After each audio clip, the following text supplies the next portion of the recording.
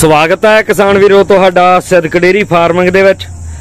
ਕਿਸਾਨ ਵੀਰੋ, ਅੱਜ ਫੇਰ ਤੁਹਾਡੀ ਇੱਕ ਮੁੱਖ ਲੋੜ ਜਿਹੜੀ ਅੱਜ ਦੇ ਸਮੇਂ ਦੀ ਬਣੀ ਵੀ ਹੈ, ਉਸ ਲੋੜ ਨੂੰ ਧਿਆਨ 'ਚ ਰੱਖਦੇ ਆ ਵੀਡੀਓ ਬਣਾਉਣ ਲੱਗੇ ਆ ਪਿੰਡ ਫਿਰੋਜ਼ ਸ਼ਾਹ, ਇਤਿਹਾਸਕ ਪਿੰਡ ਆ ਦੋਸਤੋ, ਫੇਰੂ ਸ਼ਹਿਰ ਵੀ ਇਹਨੂੰ ਕਹਿੰਦੇ ਆ, ਤੇ ਇਹ ਫਿਰੋਜ਼ਪੁਰ ਜ਼ਿਲ੍ਹੇ ਦਾ ਪਿੰਡ ਆ। ਰੋਡ ਦੇ ਉੱਤੇ ਆ ਦੋਸਤੋ, ਜਿਹੜਾ ਫਿਰੋਜ਼ਪੁਰ ਤੋਂ ਤਲਵੰਡੀ ਭਾਈ ਮੋਗੇ ਵਾਲਾ ਰੋਡ ਹੈ, ਤੇ ਜਿਹੜੇ ਘਰ ਚੋਂ ਵੀਡੀਓ ਬਣਾ ਰਹੇ ਆ ਦੋਸਤੋ ਬਾਈ ਨੇ ਸਾਈਲੇਜ ਵਾਲੀ ਮਸ਼ੀਨ ਜਿਹੜੀ ਜਾਂ ਸਾਈਲੇਜ ਦਾ ਇੱਕ ਪਲਾਂਟ ਇੱਥੇ ਲਾਇਆ ਸਾਈਲੇਜ ਪੈਕ ਕਰਕੇ ਅੱਗੇ ਸੇਲ ਕਰਨ ਵਾਸਤੇ। ਮੇਰੇ ਖਿਆਲ ਚ ਦੋਸਤੋ, ਤੀਜੀ, ਚੌਥੀ ਵੀਡੀਓ ਸਾਈਲੇਜ ਦੀ ਬਣਾਉਣ ਲੱਗਾ ਤੇ ਤੁਹਾਨੂੰ ਇਸ ਗੱਲੋਂ ਖੁਸ਼ੀ ਹੋਊਗੀ ਵੀ ਹੁਣ ਤੁਹਾਨੂੰ ਸਾਈਲੇਜ ਸਾਰਾ ਸਾਲ ਮਿਲਿਆ ਕਰੂਗਾ ਕਿਉਂਕਿ ਪਲਾਂਟ ਬਹੁਤ ਲੱਗ ਰਹੇ ਆ ਤੇ ਨਵੀਆਂ ਆਧੁਨਿਕ ਮਸ਼ੀਨਾਂ ਬਾਈ ਜੀ ਹੋਰੀ ਲਿਆ ਰਹੇ ਆ। ਮਹਿੰਗੀਆਂ ਮਸ਼ੀਨਾਂ ਹਰੇਕ ਦੇ ਵੱਸ ਦੀ ਗੱਲ ਨਹੀਂ, ਪਰ ਜਿਹੜਾ ਵੀਰ ਇੱਕ ਪਸ਼ੂ, ਦੋ ਪਸ਼ੂ ਜਾਂ ਘਰੇ ਚਾਰ ਪਸ਼ੂ ਰੱਖਦਾ ਹੈ ਤਾਂ ਮੇਰੇ ਖਿਆਲ ਚ ਉਹਨੂੰ ਬੇਸ਼ੱਕ ਉਹ ਪੱਠੇ ਹੁਣ ਨਾ ਬੀਜੇ ਸਾਈਲੇਜ ਨੂੰ ਵਰਤ ਸਕਦਾ ਕਿਉਂਕਿ ਤੂੜੀ ਦਾ ਰੇਟ ਜਿਹੜਾ ਅੱਜ ਸਾਈਲੇਜ ਚੱਲ ਰਿਹਾ ਉਹਦੇ ਨਾਲੋਂ ਤੂੜੀ ਦਾ ਰੇਟ ਅੱਜ ਵੀ ਜ਼ਿਆਦਾ ਹੈ। ਤੂੜੀ ਦੇ ਵਿੱਚ ਫਾਈਬਰ ਤੋਂ ਇਲਾਵਾ ਕੁਝ ਵੀ ਨਹੀਂ ਤੇ ਪਰ ਇਹ ਇੱਕ ਪੌਸ਼ਟਿਕ ਆਹਾਰ ਹੈ ਪੌਸ਼ਟਿਕ ਅਹ, ਜਿਹੜਾ ਇਹਦਾ ਹਰਾ ਚਾਰਾ ਜਿਹੜਾ ਪਸ਼ੂਆਂ ਦੀ ਸਿਹਤ ਵਾਸਤੇ ਬਹੁਤ ਲਾਹੇਵੰਦ ਹੁੰਦਾ ਹੈ। ਕਾਰਨ ਇਹਦੇ ਚ ਡਰਾਈ ਮੈਟਰ ਜ਼ਿਆਦਾ ਹੈ।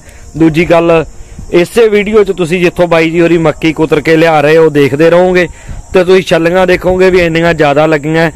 ਕੁਆਂਟਲ ਦੇ ਮਗਰ ਜੇ ਮੰਨੀਏ ਤਾਂ ਦੋਸਤੋ ਅ, 20 ਕਿਲੋ ਵਾਂਗੂ ਮੇਰੀ ਤੱਕ ਹੈ ਬਾਕੀ ਇਹ ਵੱਧ ਘੱਟ ਹੋ ਸਕਦਾ। 15-20 ਕਿਲੋ ਵਾਂਗੂ ਦਾਣਾ ਵੀ ਜਿਹੜਾ ਤੁਹਾਨੂੰ ਵਿੱਚ ਫ੍ਰੀ ਦੇ ਵਿੱਚ ਮਿਲ ਜਾਣਾ ਜਿਹਦਾ ਰੇਟ ਅੱਜ ਦੇ ਟਾਈਮ 'ਚ ਜੇ ਗੱਲ ਕਰੀਏ 24-2500 ਨੂੰ ਪਕਾਵੀ ਮੱਕੀ ਵਿਕਦੀ ਹੈ। ਸੋ ਆਓ ਗੱਲਾਂ ਬਾਤਾਂ ਬਾਈ ਨਾਲ ਕਰਦੇ ਆਂ ਤੁਹਾਨੂੰ ਇਹਦੇ ਬਾਰੇ ਡਿਟੇਲ ਪੁੱਛ ਦਿੰਨੇ ਆ ਮਿਲਾਉਂਗਾ ਤੇ ਨਾਲ ਮਿਲਾਉਂਗਾ ਦੋ ਛੋਟੇ ਛੋਟੇ ਬੱਚੇ ਜਿਨ੍ਹਾਂ ਦੇ ਪਟਕੇ ਦੋਸਤੋ ਮੱਕੀ ਦੇ ਰੰਗ ਵਾਲੇ ਵੱਧੇ ਆ ਕੇਸਰੀ ਪਟਕੇ ਸਰੋਂ ਫੁੱਲੇ ਪਟਕੇ। ਬਾਈ ਸਤਿ ਸ਼੍ਰੀ ਅਕਾਲ। ਸਤਿ ਸ੍ਰੀ ਅਕਾਲ ਬਾਈ ਜੀ। ਬਹੁਤ ਬਹੁਤ ਧੰਨਵਾਦ ਤੁਹਾਡਾ। ਧੰਨਵਾਦ ਬਾਈ ਤੁਹਾਡਾ ਵੀ ਤੁਸੀਂ ਬੁਲਾਇਆ। ਨਾਲ ਨੂੰ ਹੋ ਜੀ ਪਤਾ। ਨਾਮ ਆਪਣਾ ਦੱਸਿਓ ਬਾਈ ਜੀ। ਜਸਵੰਤ ਸਿੰਘ ਆ ਜੀ ਜੱਸਾ ਬੋਪਾ ਰਾਏ ਵਪਾਰੀ ਵੀ ਕਹਿ ਦਿੰਦੇ ਆ। ਮੱਝਾਂ ਗਾਵਾਂ ਦਾ ਕੰਮ ਵੀ ਆਪਣਾ ਨਾਲ ਸੇਲ ਪਰਚੇਜ ਦਾ। ਠੀਕ ਹੈ। ਪਿੰਡ ਫਰੋਸ਼ਾ ਵਾ ਜ਼ਿਲ੍ਹਾ ਫਿਰੋਜ਼ਪੁਰ ਆ। ਠੀਕ ਹੈ। ਤਲਵੰਡੀ ਭਾਈ ਤੋਂ ਫਿਰੋਜ਼ਪੁਰ ਵਾਲੇ ਪਾਸੇ ਆ। ਫਿਰੋਜ਼ਪੁਰ ਤੋਂ ਮੋਗਾ ਰੋਡ ਤੇ ਤਲਵੰਡੀ ਭਾਈ ਤੇ ਫਿਰੋਜ਼ਪੁਰ ਦੇ ਵਿਚਕਾਰ ਆ ਪਿੰਡ ਫਰੋਸ਼ਾ। ਠੀਕ ਹੈ। ਅ, ਨਾਮ ਦੱਸੀ ਰਾਜੇ। ਗੁਰਸ਼ਨ ਸਿੰਘ ਜੀ। ਠੀਕ ਹੈ। ਤੇਰਾ ਨਾਮ ਵੀ ਜਵਨਪ੍ਰੀਤ ਸਿੰਘ ਠੀਕ ਹੈ।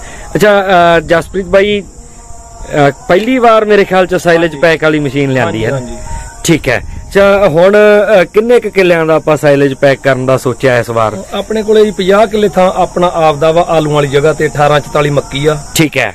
ਤੇ 20 ਕਿੱਲੇ ਥਾਂ ਆਪਾਂ ਮੁੱਲ ਲਿਆ ਵਾ ਉਹ ਵੀ ਆਲੂ ਵਾਲੇ ਥਾਂ ਤੋਂ ਹੀ ਲਈ ਆ ਮੱਕੀ ਖਰੀਦੀ। ਹਜੇ ਤਾਂ ਆਲੂਆਂ ਵਾਲੀ ਚੱਲ ਰਹੀ ਹੈ। ਹਾਂਜੀ ਹਾਂਜੀ। ਠੀਕ ਹੈ। ਅੱਛਾ ਭਰਪੂਰ ਮਾਤਰਾ ਚ ਫਿਰ ਦਾਣਾ ਛੱਲੀ ਜਿਹੜੀ ਇਸ ਟਾਈਮ ਤਾਂ ਲੱਗੀ ਹੈ ਵੈਸੇ ਆਪਾਂ ਵਾਹਣ ਵਾਲੀ ਵੀਡੀਓ ਵੀ ਦਿਖਾ ਦੇਣੀ ਹੈ ਦਰਸ਼ਕਾਂ ਨੂੰ। ਸਾਰੀ ਛੱਲੀ ਵਿੱਚ ਹੀ ਪੀਸ ਰਹੇ ਹੋ ਇਹਦੇ ਵਿੱਚ ਹੀ ਕੁਤਰ ਰਹੇ? ਬਿਲਕੁਲ ਆਪਾਂ ਕੁਆਲਿਟੀ ਦੇਾਂਗੇ ਚਾਰ ਦੀ ਆਪਾਂ ਨੂੰ ਇਹ ਨਹੀਂਗਾ ਆਪਾਂ ਕਿਹੜਾ ਵੀ ਮਸ਼ੀਨਰੀ ਤੇ ਇੰਨੇ ਪੈਸੇ ਲਾਏ ਆ ਵੀ ਆਪਾਂ ਐਤਕੀ ਵਾਰ ਵੇਚ ਲਿਆ ਦੂਸਰੀ ਵਾਰ ਵੇਚਣਾ ਨਹੀਂਗਾ ਜੇ। ਆਪਣੀ ਕੁਆਲਿਟੀ ਵਧੀਆ ਹੋਊਗੀ ਤੇ ਗਾਹਕ ਆਪਣੇ ਨਾਲ ਵੱਧ ਤੋਂ ਵੱਧ ਬਿਲਕੁਲ ਫੇਰ ਹੀ ਜੁੜੂਗਾ। ਬਾਕੀ ਕੰਪੀਟੀਸ਼ਨ ਵੀ ਕਾਫੀ ਸਖਤ ਹੋ ਰਿਹਾ ਹੁਣ ਇਸ ਕੰਮ ਦੇ ਵਿੱਚ ਨਾ? ਹਾਂਜੀ, ਹਾਂਜੀ। ਅੱਛਾ ਬਾਈ ਤੂੰ ਸਾਈਲੇਜ ਆਪਦੇ ਪਸ਼ੂਆਂ ਨੂੰ ਕਿੰਨਾ ਚਿਰ ਹੋ ਗਿਆ ਵਰਤਦੇ? ਬਾਈ ਜੀ ਮੈਂ ਸੈਲੇਜ ਅੱਜ ਤੋਂ 3 ਸਾਲ ਪਹਿਲਾਂ ਆਪਦੇ ਘਰ ਦੇ ਪਸ਼ੂਆਂ ਨੂੰ ਵਰਤਦਾ ਸੀਗਾ ਟੋਇਆ ਪਾ ਕੇ। ਠੀਕ ਹੈ। ਤੇ ਉਹਦੇ ਨਾਲ ਜਾਣੀ ਕਿ ਦਾਣੇ ਦੀ ਮਾਤਰਾ ਬਹੁਤ ਘੱਟ ਆਪਾਂ ਨੂੰ ਜਿਹੜੀ ਜ਼ਿਆਦਾ ਦੁੱਧ ਵਾਲੀ ਗਾਂ ਮੱਝ ਆ ਉਹਨੂੰ ਦਾਣਾ ਪਾਉਣਾ ਪੈਂਦਾ ਸੀ ਐਕਸਟਰਾ ਨਹੀਂ ਤਾਂ ਇਹਦੇ ਵਿੱਚ ਹੀ ਬਹੁਤ ਜ਼ਿਆਦਾ ਦਾਣਾ ਵਾ ਮੱਝ ਨੂੰ ਤਾਂ ਮੇਰੇ ਖਿਆਲ ਚ ਬਹੁਤੀ ਲੋਡ ਪੈਂਦੀ ਨਹੀਂ ਹੋਣੀ ਐਕਸਟਰਾ ਦੇਣ ਦੀ ਗਾਵਾਂ ਨੂੰ ਜ਼ਿਆਦਾ ਪੈਂਦੀ ਆ ਸੈਲੇ ਦੇ ਨਾਲ। ਆਪਾਂ ਦਾਣਾ ਪਾ ਸਕਦੇ ਆ ਪਰ ਮੱਝ ਨੂੰ ਤਾਂ ਜਿੰਨਾ ਕੁ ਚਾਹੀਦਾ ਉਹਨਾਂ ਇਹਦੇ ਵਿੱਚ ਹੀ ਹੈਗਾ ਜੀ ਇਹਦੇ ਵਿੱਚ ਹੀ ਹੈਗਾ। ਅੱਛਾ ਸਿਹਤ ਦਾ ਫਿਰ ਫ਼ਰਕ ਪੈਂਦਾ ਬਾਈ ਸਾਈਲੇਜ ਬਹੁਤ ਜ਼ਿਆਦਾ ਇਹ ਦਾਣੇ ਦੇ ਨਾਲ ਮੱਝਾਂ ਬਹੁਤ ਜ਼ਿਆਦਾ ਰਾਜੀ ਹੋ ਜਾਂਦੀਆਂ ਵਾ ਬਾਕੀ ਇਹ ਪੱਠਾ ਮੇਰੇ ਖਿਆਲ ਚ ਪਾਚਨਯੋਗ ਵੀ ਹੈ ਹਜਮ ਵੀ ਛੇਤੀ। ਆਉਂਦਾ। ਠੀਕ ਹੈ। ਅੱਛਾ ਹੁਣ ਆਪਣੇ ਕੋਲ ਕਿੰਨੇ ਕਿਲੋ ਵਾਲੀ ਆਪਾਂ ਗੱਠ ਹੈ ਜਿਹੜੀ ਪੈਕ ਕਰ ਆਪਣੇ ਕੋਲੇ ਕਰੀਬ ਜਿਹੜੀ ਮਸ਼ੀਨ ਆ 1 ਕੁਇੰਟਲ ਦੀ ਗੱਠ ਪੈਕਿੰਗ ਕਰ ਰਹੀ ਆ। ਠੀਕ ਹੈ। ਤੇ ਇਹਦੇ ਵਿੱਚ ਕੋਈ ਗੱਠ 2-4 ਕਿਲੋ ਵੱਧ ਸਕਦੀ ਆ ਕੋਈ 2 ਕਿਲੋ ਘਟ ਵੀ ਸਕਦੀ ਆ।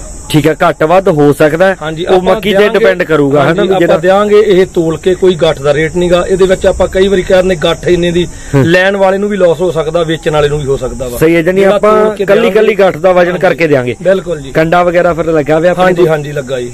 ਅੱਛਾ ਟਰਾਂਸਪੋਰਟ ਦਾ ਕੀ ਆਪਾਂ ਸਿਸਟਮ ਬਣਾ ਟਰਾਂਸਪੋਰਟ ਰਹੇ ਦਾ ਹਾਂ? ਬਾਈ ਜੀ ਜੇ ਕੋਈ ਜ਼ਿਆਦਾ ਚਾਰ ਮੰਗਵਾਊਗਾ ਹੂੰ। ਕੁਆਂਟੀਟੀ ਜ਼ਿਆਦਾ ਮੰਗਵਾਊਗਾ ਉਹਨੂੰ ਆਪਾਂ ਪਹੁੰਚ ਕਰ ਦਿਆਂਗੇ ਐਕਸਟਰਾ ਖਰਚਾ ਹੋਊਗਾ ਉਹਦਾ। ਠੀਕ ਹੈ। ਟਰਾਂਸਪੋਰਟ ਦਾ। ਨਹੀਂ ਫਿਰ ਆਪ ਆਪ ਦਾ ਸਾਧਨ ਲਿਆਵੇ ਤੇ ਸਾਧਨ ਲੈ। ਆਵੇ ਆਪ ਆਪ ਦਾ ਲਿਜਾ ਸਕਦਾ ਇੱਥੋਂ। ਠੀਕ ਹੈ। ਅੱਛਾ ਟ੍ਰਾਇਲ ਚੱਲ ਰਿਹਾ ਕੁਸਕ ਵੀਰ ਕਈ ਵਾਰ ਇੱਕ ਅੱਧਾ ਬੰਡਲ ਹੀ ਲਿਜਾਣਾ ਚਾਹੁੰਦੇ ਹੁੰਦੇ ਲਿਜਾ ਸਕਦੇ ਹੋ? ਲਿਜਾ ਸਕਦੇ ਜੀ। ਉਹ ਤਾਂ ਇੱਕ ਲੈ ਜੇ ਚਾਹੇ ਜਿੰਨਾ ਮਰਜ਼ੀ ਉਹ ਤਾਂ ਅਗਲੇ ਦੀ ਗਾਹਕ ਦੇ ਡਿਪੈਂਡ ਆ ਜਿੰਨਾ ਸਹੀ ਆਪਾਂ ਤਾਂ ਵਜਨ ਤੋਲ ਕੇ ਦੇਣਾ। ਬਿਲਕੁਲ ਜੀ। ਰੇਟ ਇਹਦਾ ਅੱਜ ਦੇ ਟਾਈਮ 'ਚ ਕੀ ਚੱਲ ਅੱਜ ਦੇ ਰਿਹਾ ਟਾਈਮ ਦੇ ਵਿੱਚ 700 ਰੁਪਏ ਕੁਇੰਟਲ ਦਾ ਰੇਟ ਆ ਜੀ। ਠੀਕ ਕੱਲ ਦਾ ਜੋ ਮਾਰਕੀਟ ਦਾ ਭਾਅ ਹੋਊਗਾ ਉੱਪਰ ਥੱਲੇ ਉਹ ਮੌਕੇ ਠੀਕ ਹੈ ਜੇ ਵਾਧਾ ਵਧਾਵਾਂਗੇ ਜੇ ਘਟਦਾ ਘਟਾਵਾਂਗੇ। ਬਿਲਕੁਲ।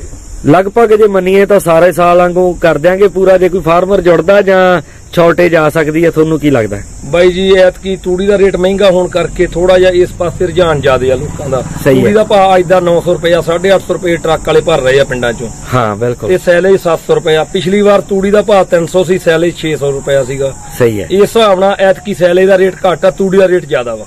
ਸਹੀ ਹੈ। ਇਹ ਯਾਨੀ ਜਿਹਨੇ ਸਟਾਕ ਕਰਨਾ ਆਪਦਾ ਸਾਲ ਦਾ ਕਰਕੇ depend ਰੱਖਣਾ ਮੌਕੇ ਤੇ ਕਰੂਗਾ ਜੇ ਤੂੜੀ ਤੇ ਕੋਈ ਮੰਨ ਲਓ ਤੂੜੀ ਦੇ ਭਾਅ ਦੇ ਵਿੱਚ ਕੋਈ ਆਉਂਦੀ ਆ ਥੋੜੀ ਮੰਦਾ ਆ ਸਕਦਾ ਵਾ। ਤੇ ਫੇਰ ਭਲਾਂਦੀ ਇਹਦਾ ਇੱਥੇ ਭਾਅ ਰਿਹਾ ਜੇ 700 ਤੇ। ਜੇ ਤੂੜੀ ਦੇ ਭਾਅ ਤੇ ਕੰਟਰੋਲ ਨਾ ਹੋਇਆ ਫੇਰ ਇਹਦਾ 700 ਤੇ ਰੇਟ ਨਹੀਂ ਰਹਿ ਸਕਦਾ ਫੇਰ ਹੋ ਸਕਦਾ 1000 ਨੂੰ ਵੀ ਟੱਚ ਕਰ ਸਕਦਾ ਹੈ ਠੀਕ ਹੈ ਅੱਛਾ ਇੱਕ ਜੱਸੇ ਬਾਈ ਜੇ ਕਈ ਵਾਰਾਂ ਕੁਝ ਬੰਦੇ ਕੋਲ ਜਗ੍ਹਾ ਘੱਟ ਹੁੰਦੀ ਹੈ ਸ਼ਹਿਰਾਂ 'ਚ ਜਿਹੜੇ ਫਾਰਮਰ ਹੈ ਜਾਂ ਪਿੰਡਾਂ ਦੇ ਵਿੱਚ ਹੀ ਇਦਾਂ ਦੇ ਫਾਰਮਰ ਹੈ ਜਿਨ੍ਹਾਂ ਕੋਲ ਘਰਾਂ 'ਚ ਜਗ੍ਹਾ ਘੱਟ ਹੁੰਦੀ ਹੈ। ਹਾਂਜੀ। ਪੇਮੈਂਟ ਤੁਹਾਡੇ ਨਾਲ ਪੂਰੀ ਕਰ ਲੇ ਉਹਦਾ ਮਾਲ ਇੱਥੇ ਪਿਆ ਰਹੂਗਾ ਲਿਜਾ ਸਕਦਾ ਉਹ ਜੇ ਲਿਜਾਣਾ ਲਿਜਾ ਚਾਹਵੇ ਸਕਦਾ ਉਦੋਂ ਬਾਅਦ ਲਿਜਾ ਸਕਦਾ ਜੀ।